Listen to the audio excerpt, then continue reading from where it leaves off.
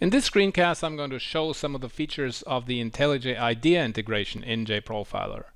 You can install the JProfiler plugin from the plugin manager or from the JProfiler UI, and the plugin will add some buttons to the toolbar here next to the Run, Debug, and Coverage buttons. And that's because profiling with JProfiler in IntelliJ IDEA is just another execution mode, like the debugger or the coverage runner. And everywhere you can run something, you can also profile it.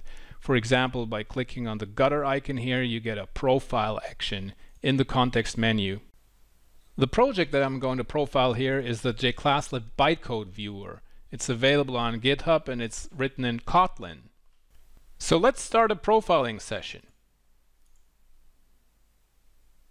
I've profiled this run configuration before and JProfiler remembers my settings on a per project basis. For example, I've configured some filter settings for call tree recording. I've set an initial recording profile for recording CPU data on startup. And I've told JProfiler to save and open a snapshot when the profile JVM exits. This is actually the default when profiling a test runner. As soon as we click on the OK button here, the application is launched and profiling starts. Let's just use the UI a bit in a random fashion and then look at the recorded CPU data in JProfiler. Another important part of the IDE integration is the ability to show the source code for methods and classes that you see in JProfiler. JProfiler has full support for Kotlin source navigation, which means that it can take these mangled names here and find the actual location in the source code. Let's try it out. We right click a method and then select the show source action from the context menu. Now we can see that in the run tool window there is a JProfiler tab and at the top of that tab there are a couple of actions. The leftmost action here is the window switcher. JProfiler and IntelliJ IDEA are two separate processes.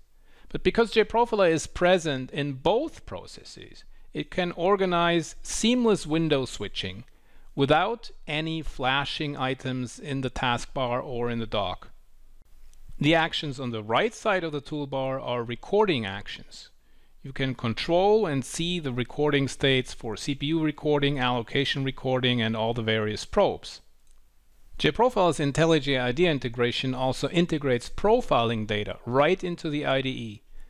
The appropriate data for that purpose is the call graph. Each method has a single node in the call graph, just like each method has a single source code location. And that's where profiling data and source editors fit together.